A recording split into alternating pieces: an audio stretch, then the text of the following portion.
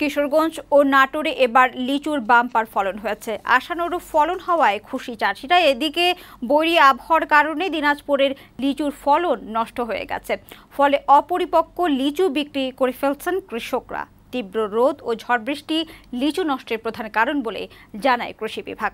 প্রতিনিধিদের পাঠানো তথ্যচিত্রে desk report. কিশোরগঞ্জের কুলিয়ার চরে লিচুর ফলন ভালো হয়েছে। এতে চাষিদের মাঝে বিরাজ করছে উৎসবের আমেজ। লিচু বিপণনে ব্যস্ত সময় পার করছেন তারা।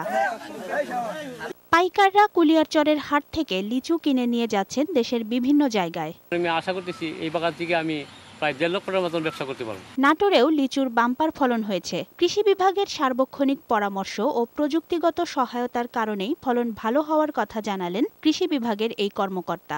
বাগানের মালিককে আমরা বিভিন্নভাবে প্রশিক্ষণ এবং তাদের উদ্বুদ্ধকরণ মিটিংয়ে এবং দলীয় আলোচনায় তাদের বলেছি লিচুর ফুল আসার আগে আপনারা গাছে কিছু কীটনাশক এবং ফাঙ্গিসাইড যদি স্প্রে করেন তাহলে সেখানে যে চটকা পোকা বা গাছে যে শোষক পোকাগুলো আছে বিভিন্ন ফাঙ্গাস আছে এগুলো দূরী দূর হয়ে যাবে।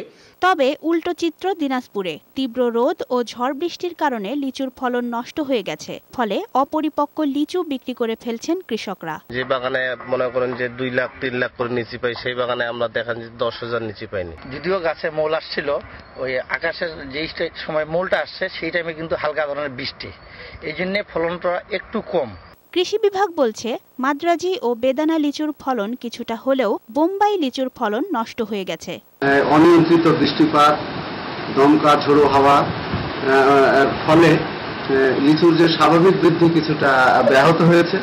এবার লিচু ফলন কম হওয়ায় বিপাকে পড়েছেন চাষিরা। ক্ষতি কাটিয়ে উঠতে ব্যাংক ঋণের সুদ মৌকুফের দাবি জানান তারা। ডেস্ক রিপোর্ট বৈশাখী সংবাদ।